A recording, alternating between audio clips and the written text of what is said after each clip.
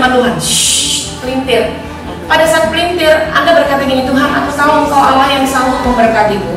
Tapi aku juga kenal Engkau dengan sempurna. Aku tahu Engkau Allah yang tidak pernah meninggalkanku, gitu.